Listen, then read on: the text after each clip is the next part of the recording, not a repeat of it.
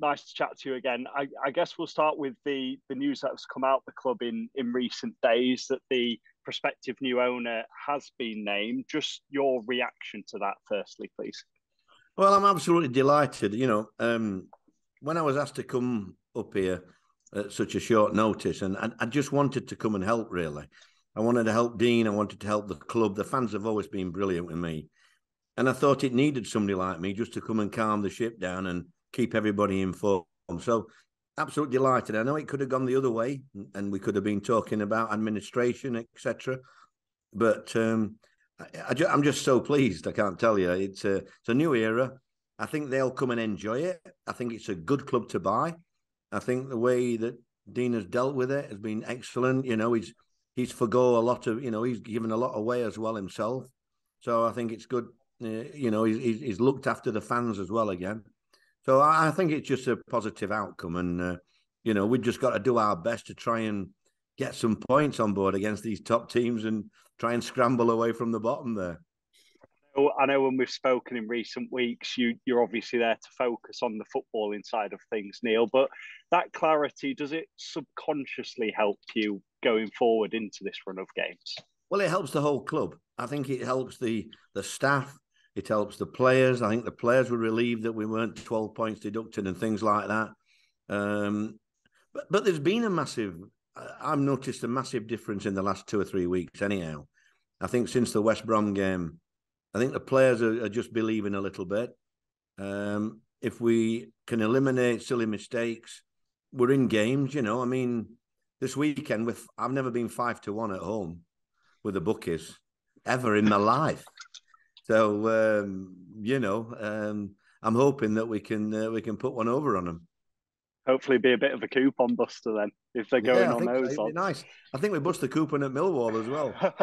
um, um, just uh, just lastly on that, the the ownership front. I know I know you've told us how how going forward at the end of the season you're always happy to lend an ear to lend a little bit of advice. What what what would you say to Kevin coming into this club and going forward? I think all I can say is what the potential is at the club.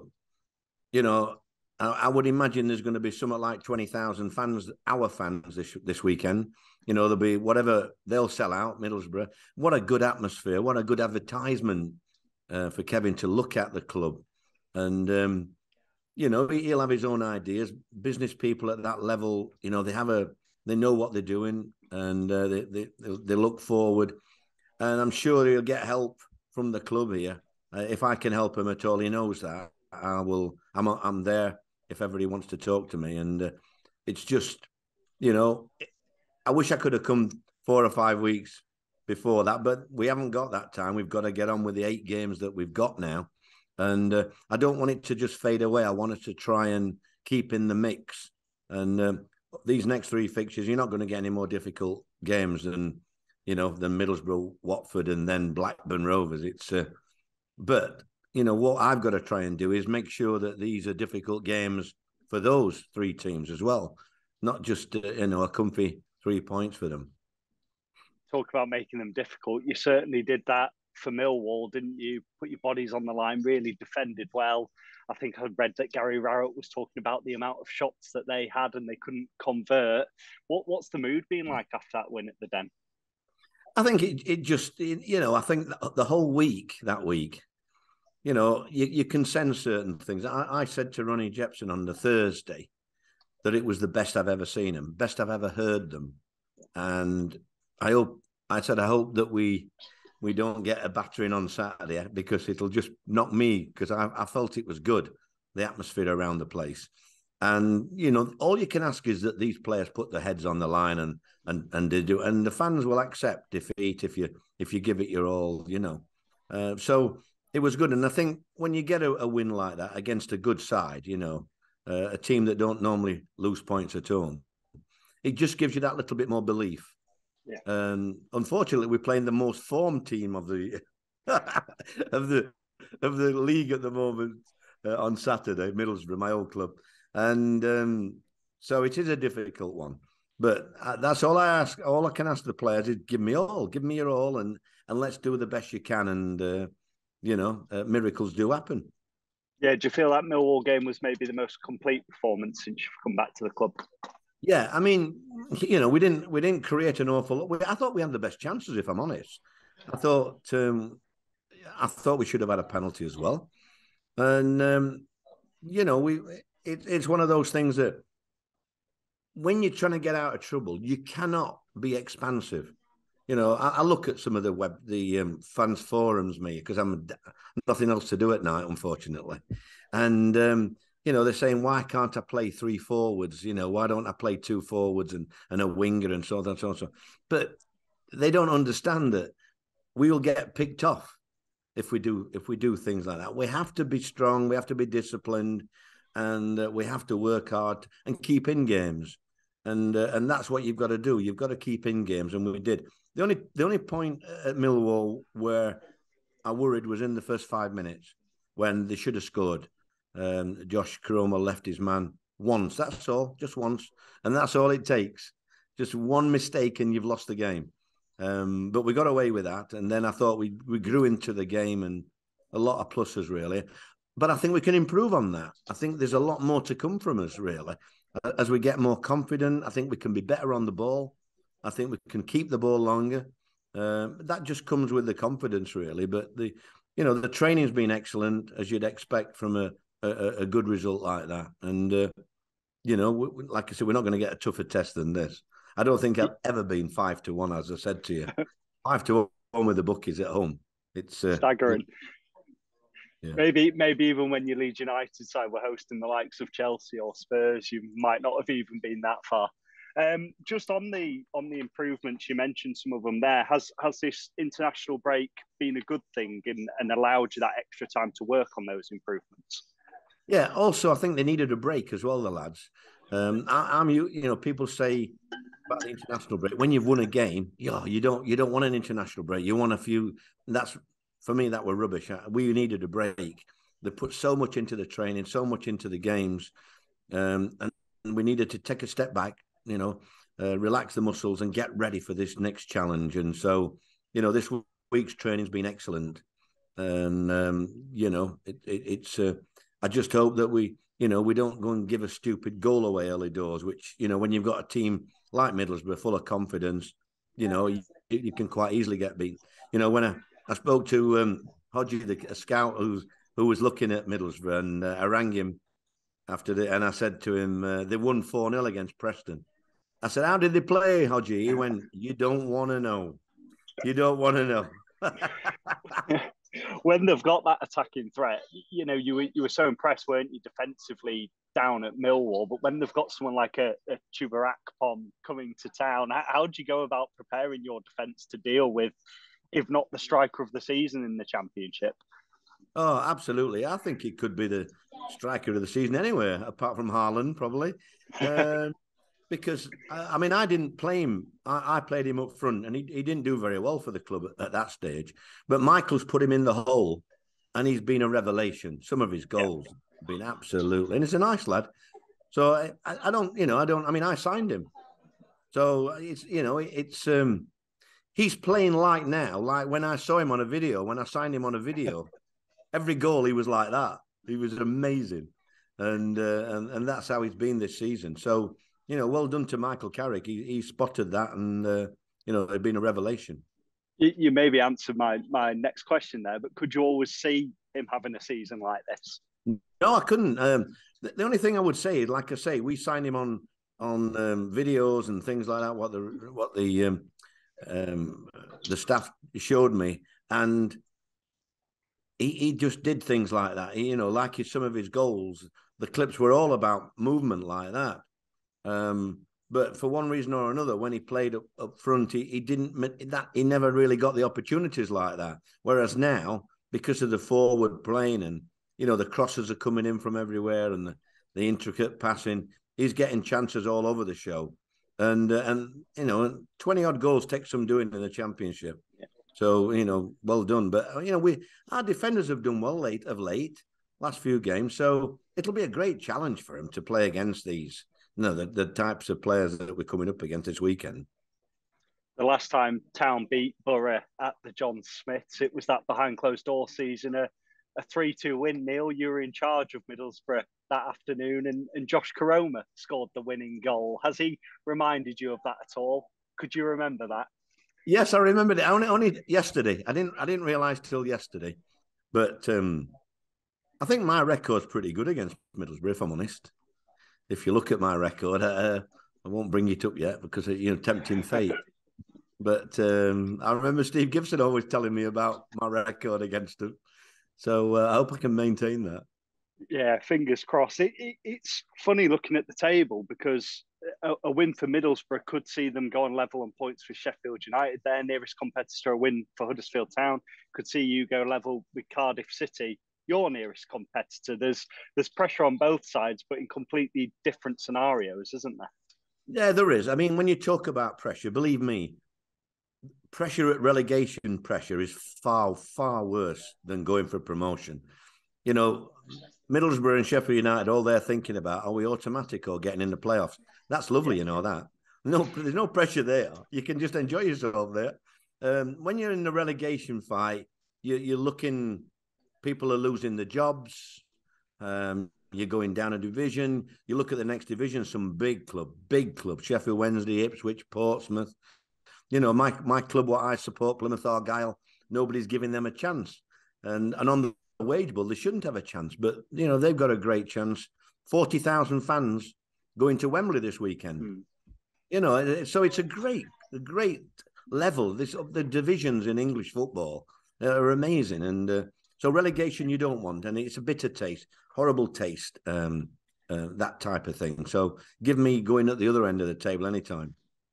Both Town and, and Middlesbrough, though, in, in their respective positions, you're the ones doing the chasing, aren't you? What What's the psycho, uh, psychology behind that, Neil? Being the chaser and not the one being hunted down. What What's the difference in that? Uh, I just think people wrote us off weeks ago, really. So I, I think you just got to realise that there's eight games, there's a lot of points. We have a difficult running. Everybody knows that. So we've got to get as many points as we can against these top teams and then hope we can get the right results elsewhere. But the minimum requirement is 100% effort. I think all you can do is that. And uh, if the fans see that, they'll forego anything else. Uh, and what will be, will be. There's a lot worse things in life than relegation, you know, when you look around the world today and, and the pandemic and everything else, what's going on. So yes, it's we don't want that, and I don't want it on. You know, when I'm in charge, uh, but it won't be for the lack of trying. Do you prefer being the one chasing a Cardiff City, or do you prefer looking forward, as in not looking over your shoulder? No, I'd prefer to be Cardiff City or anybody else up there, if I'm honest. Yeah, and have some and have some points on board any time of the week. Yeah, it's um, you know, it, it's far more difficult chasing because you have you have to get results, you know. Yeah. And uh, and that's where we find ourselves. Just lastly, going into the game, you've obviously had a break. Are there any fresh injury concerns going into the, the Middlesbrough game, or are you able to welcome anyone back? I'm thinking your Anthony Knockaert, your Duane Holmes, those kind of players. Yeah, not not really. I mean, they're, they're both the, what you're mentioning now. They are training. They are, uh, Duane's trained on the grass last few days. Um, it would probably be too early for him, and uh, and uh, Waggy Waggy's not bad either. I think you know that surprised me. That more more of a cramped situation than anything. So he Waggy Waghorn should be available as well. So you know we've got a long you know eight games. We've got three in the space of a very short time, haven't we? Nine days. Um, so we'll just have to keep an eye on on little niggles and see what's what. Could you timescale wise, Duane and Anthony maybe being available for the Easter weekend? Who's that? Duane. Dwayne. Duane. Yeah, yeah, uh, yeah, definitely. If I, mean, he's on the grass now, so I am. To be fair, I, am going to see him after the press conference today. I'm going to see how he went this morning and just see how he felt. You know, and uh, we've got another another session tomorrow. Um, but he should be available. I would imagine for the for the Blackburn Rovers game, if if not before. Great. Thanks for your time, Neil. Best of luck. Hopefully, a coupon buster for you. Thank you very much. Cheers in the room next. It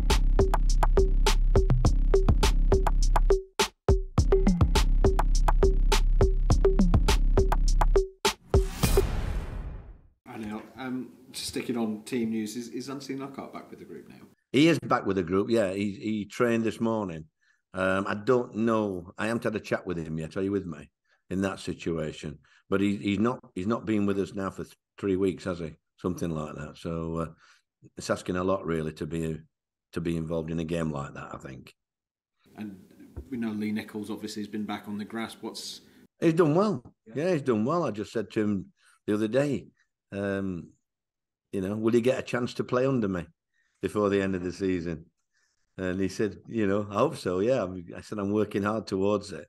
So you never know. He might get two or three games in with a bit of luck. He's he's way in front of where he thought he'd be, and he's working very hard. When I do my gym work, he's always in there. I imagine just having him as a presence back around the gym. Oh yeah, I mean you can see his his aura around the place, and you know it's a it's one of those things disappointing, um, you know, because for me he's as good as anything in the league, is Nicholls, you know. So, uh, but um, you never know. We might just have him for two or three games. Um, on the takeover as well, have you had any communication with the, the potential new owners? No, not uh, not yet. No, I mean, uh, obviously Dave Baldwin's been speaking to them, and I think he's going out to see them next week. But uh, I think he's made them aware if they want to talk to me at all about anything, uh, I'm at the end of the phone.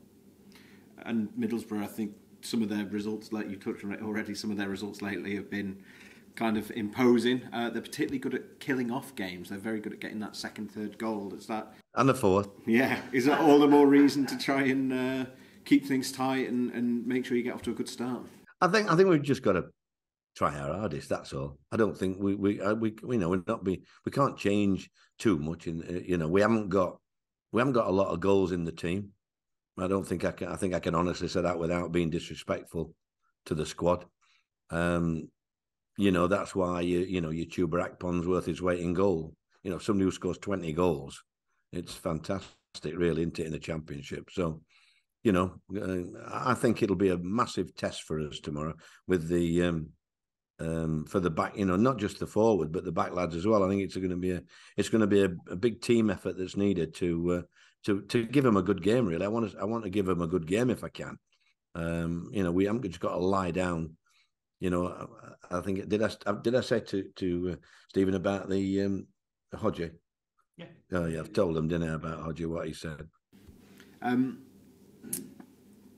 Yeah. Um. Uh, is the international break been an opportunity to work on sort of some of that attacking side of the game at all? Yeah, we, we in fairness, Tim, we always you won't believe it, but we, we always work on the attacking side. Yeah, yeah. Most days we finish with a with something regarding the attacks, and and uh, you know, I think I think the biggest plus for me is has been the likes of Jack Rudoni and, and Josh Koroma. They they've been excellent in the training this last week, so hope, hopefully they might get an opportunity at the weekend. That's for me. Best luck. Thank you. Leon, the Yorkshire Post. Leon. Hello, Neil. Are you well? All right, son. I, I was just thinking that that last game when you were at Middlesbrough, when you knew you were going, and then you had the West Brom game, and you had such a brilliant re- reception from the fans at the end. That must be. I mean, you've done promotion, this, that, and you've done everything, but that was a cherished memory for you. I would have thought because you don't get that very often, do you? Because you know it, it, was heartfelt from from the punters there.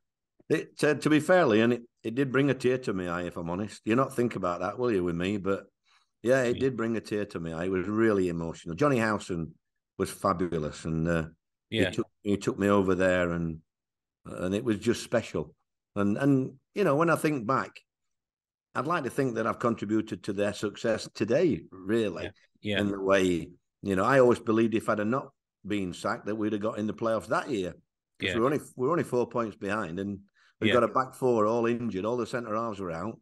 Yeah. Um, so although the new manager came in, you know, I thought they should have got in the playoffs that year, me. Yeah. And then uh, this year, I'm pleased Michael's doing well because they are a good group of lads. Fans were fabulous.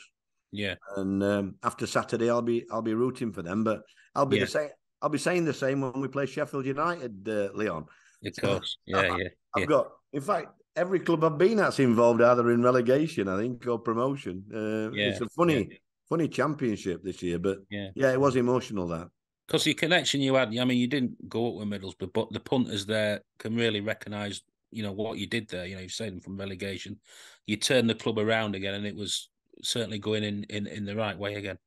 Well, we we got rid of all the high earners, massive yeah. earners. Yeah. Uh, and the problem was we only had 13 players pre-season for, for the for the full season that I had, and we we just couldn't sign players. No, um, no. It's like extracting teeth trying to get players signed.